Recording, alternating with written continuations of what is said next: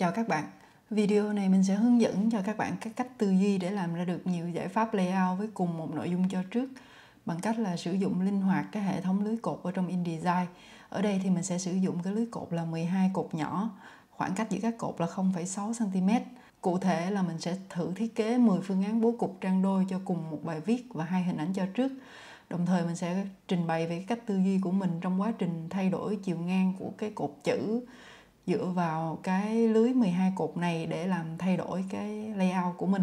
Thì đây là cái nguồn tư liệu của mình, mình sẽ sử dụng hai cái hình ảnh này. Trong một vài phương án mình sẽ chỉ sử dụng một hình ảnh và cùng cái bài viết ở đây. Đây là một bài viết về um, du lịch gồm khoảng à, 800 chữ. Bộ phong mình sử dụng đó là phong Soin Sans Pro. Thì um, trước khi mà bắt đầu thiết kế một cái gì thì các bạn cũng phải thiết kế một cái template sẵn như thế này nghĩa là mình đã định sẵn được cái phần mà tích lớn nó là phong gì size bao nhiêu. À, size tích lớn thì có thể linh hoạt lớn nhỏ tùy theo bố cục. À, rồi cái phần tích nhỏ một số cái bài viết hay là một số cái nội dung mà khách hàng đưa cho mình thì có thể là có một cái tích rất là dài thì mình phải cần có một cái format tít nhỏ hơn để áp dụng cho những cái phần tít dài này.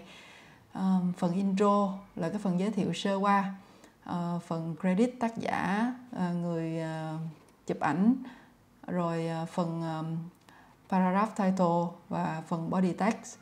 Ờ, ở đây thì mình làm ờ, demo một cái trang đôi tạp chí cho nên nó sẽ có cái phần là code là cái phần trích dẫn một số cái câu quan trọng. Bây giờ mình sẽ bắt đầu với cái giải pháp layout đầu tiên. Thì mình sẽ tạo hai trang mới. Đầu tiên thì mình sẽ mở cái file um, bài viết lên uh, copy và mình pass vào InDesign. Ctrl C, Ctrl V như bình thường ha các bạn. Sau khi mà mình pass cái file bài viết vào InDesign thì mình sẽ mở cái paragraph style lên. Mình đã định sẵn các cái style chữ ở trong paragraph style của mình rồi. Bạn nào mà chưa biết làm cái này thì có thể xem ở bài 4 cách tạo paragraph style. Thì khi mà mình pass cái bài viết vào InDesign thì đầu tiên mình sẽ chọn cái format là body text. Sau đó thì để giải giải quyết cho cái ờ, layout ờ, đơn giản nhất thì mình sẽ thử chia làm hai cột thôi. Đây là cái cách ờ, làm đơn giản nhất.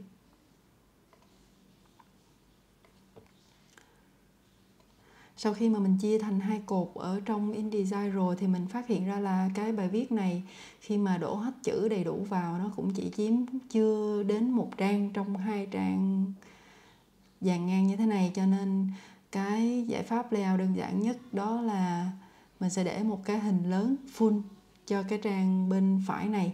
Sau đó thì mình sẽ sắp xếp những cái phần còn lại ở gọn ở bên trang bên trái.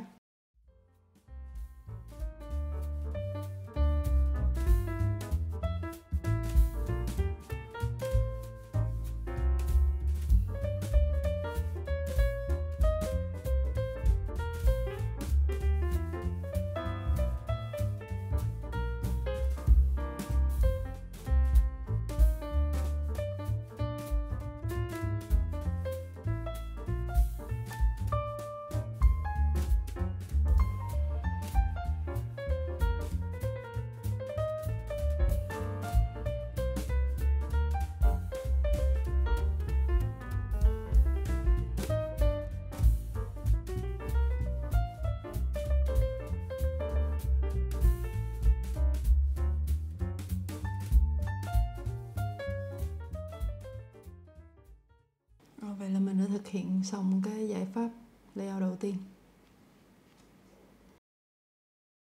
Tiếp theo mình sẽ làm cái giải pháp layout thứ hai. Ở cái giải pháp thứ hai này thì mình sẽ không có chia thành hai cột chữ mà mỗi cột gồm 6 cột nhỏ nữa, mà mình sẽ chia thành ba cột chữ. Mỗi cột gồm có bốn cột nhỏ như sau.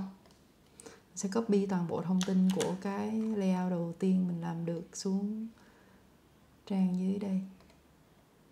Và mình sửa về cái um, tạm thời mình cho cái hình này ra bên ngoài ha.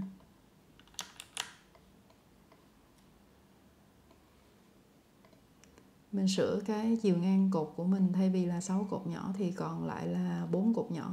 Thì mình sẽ chia chia được ba cột chữ. Thì để cho nó khác cái option layout ở trên thì mình sẽ dời cái ảnh qua chỗ khác.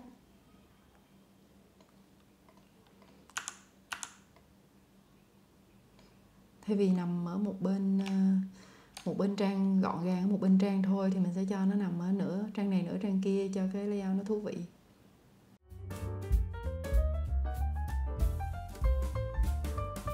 Rồi, vậy là mình còn một cái khoảng trống để để cái hình ờ, thứ hai vào um, nhưng mà mình thấy là nếu mà để một cái hình vuông nữa thì nó có vẻ hơi cứng một chút xíu.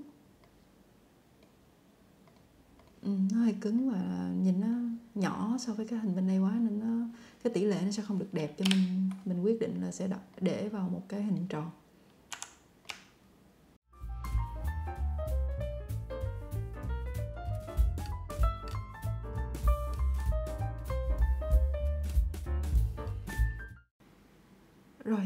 Là mình đã xong cái giải pháp layout thứ hai. Ở đây thì mình sẽ phân tích một chút xíu về cái nội dung của à, bài viết. Mình thấy ở cái phần à, thứ hai à, của bài viết là How to travel along safe, safely nè thì nó sẽ có một cái đoạn ở bên dưới đó là cái safety tips for traveling alone nó gồm có 6 cái không 1 2 3 4 5 6 7 8 cái tips nhỏ thì um, cái phần này cái nội dung nó tương đối khác về cái cấu trúc so với hai cái phần đầu cho nên um, mình sẽ thử biến hóa về cái số lượng cột của cái phần um, tips này một tí xíu. Thì uh, vì nó là cái tips nhỏ nhỏ cho nên mình thử làm chia một cái loại cột nhỏ hơn nữa. Đó là cái cột um, chiều ngang gồm 3 cột nhỏ thôi cho riêng cái phần safety tips này. Và mình sẽ đổ qua bên trang bên đây.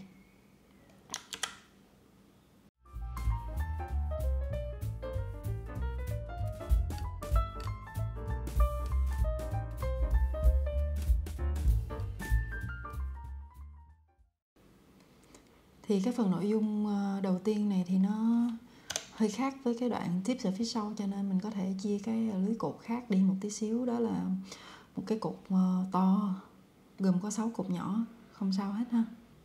Sau khi mà mình ờ, thiết kế xong cái phần tag rồi á, thì mình thấy có hai cái không gian rộng như thế này. Cho nên mình sẽ cho cái hình cái anh chạy xe đạp một mình lên trên đây.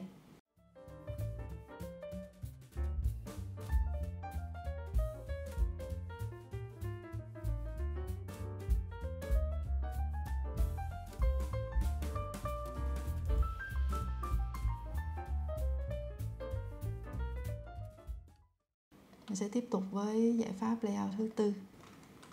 Như thường lệ ha, mình lại à, copy cái thông tin ở trên cái layout đầu tiên. Thì mình sẽ thay đổi cái gì ở cái layout thứ tư này? Mình định là sẽ chia ba cột bình thường thôi.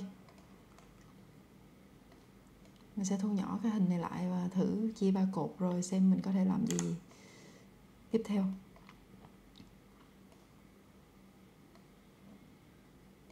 Thì các bạn thấy đó, khi mà nó có cái lưới ờ, cột ở bên dưới thì mình rất là dễ thao tác và rất là dễ có những cái idea mới. Chứ không có bị cảm thấy cái trang nó trắng tinh rồi mình hoang mang không biết phải thiết kế như thế nào, bắt đầu từ đâu. Thì ờ, đó là lý do mà mình hay nói sinh viên của mình là nên ờ, dùng InDesign chứ không nên thiết kế bằng AI ha.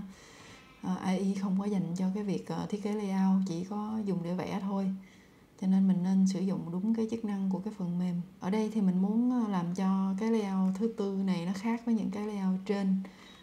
Bằng cách là hơi dùng text về cái trang bên phải một tí xíu. Cho nên mình quyết định là sẽ chỉ để một cột chữ ở bên cái trang bên trái mà thôi. Cái phần tips này nó cũng là một cái phần nội dung khá là riêng, cho nên mình cũng muốn để nó qua cái trang riêng biệt ở bên đây, chứ không có muốn nó nằm chung qua bên đây, hoặc là nếu mà nó bị giống như là một phần của cái tip này nằm ở bên đây thì cũng không được hay cho lắm, cho nên mình sẽ đẩy hết toàn bộ cái phần safety tips qua bên trang bên phải.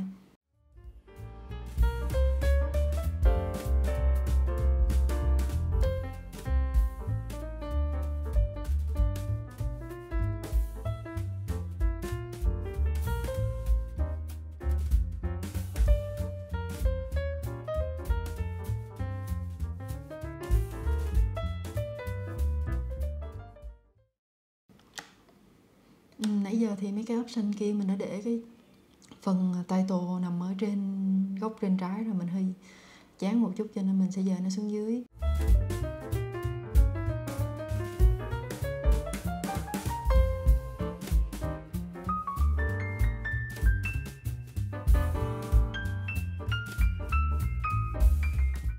Mình sẽ làm tiếp tục với cái giải pháp layout thứ năm mình muốn làm cho cái layout thứ năm nó khác đi một tí cho nên um, mình sẽ thử sử dụng cái ảnh nhỏ này to lên và không sử dụng cái ảnh cái anh chạy xe đạp xem nó như thế nào. Đồng thời thì mình cũng muốn làm cho nó khác đi bằng cách là làm một cái ảnh lớn ở trang bên trái. Nãy giờ mình chưa có cái à, layout nào mình làm cái trang bên trái ảnh lớn hẳn lên. Thấy cái hình này nó khá là thú vị nó có một cái khoảng trống ở đây nên mình thử đặt cái à, tít vô trong nó coi nó sao. À nó hơi dư một tí xíu thì mình thu gọn lại thôi. Ừ, nếu mà để toàn bộ chữ qua bên trang phải hết thì nó có một chút không cân bằng ở cái trang này cho nên mình sẽ ừ, mình sẽ tìm cách để cái um, tít nhỏ intro và tên tác giả qua bên trang này luôn. Thì để làm như vậy thì mình à, sẽ xử lý một tí xíu cho cái ảnh ở phía bên phải của cái ảnh lớn này nó trắng hơn. Mình sẽ um, edit trong photoshop ha các bạn.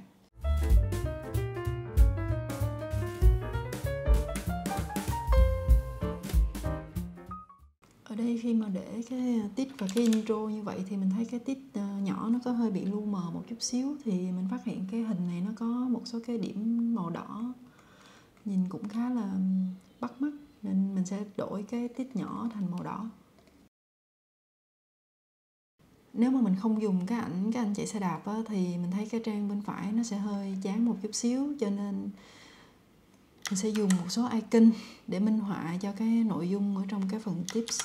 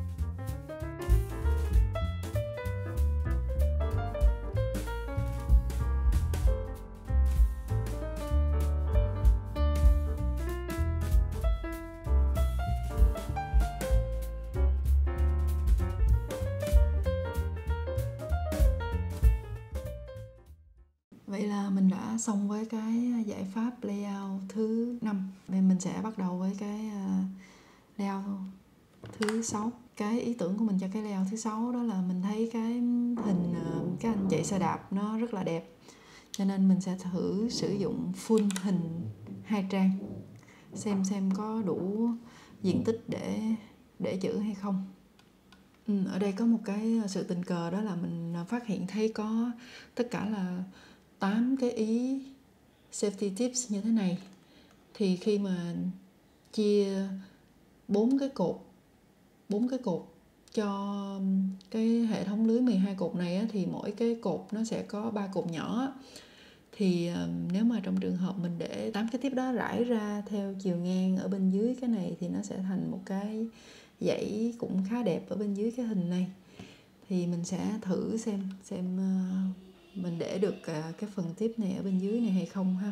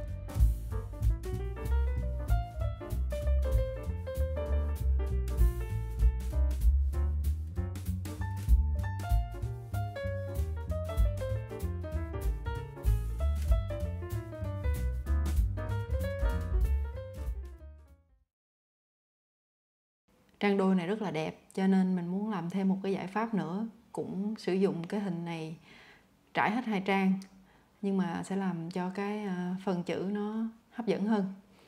Thì cái cách giải quyết của mình như sau, đây là cái giải pháp thứ bảy.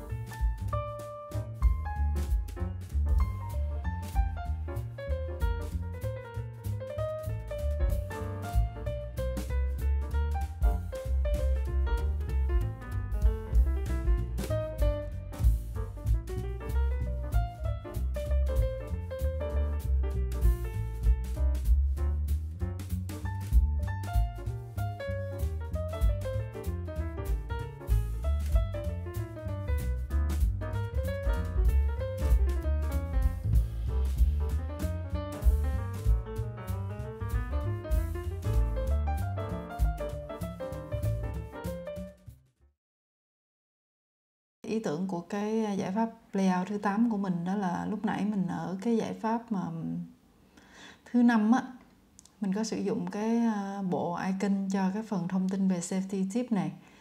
Thì ở cái à, giải pháp thứ 8 mình định mình cũng sẽ thực, lấy lại cái bộ icon đó nhưng mà mình sẽ làm ở trên cái nền đen của cái hình này.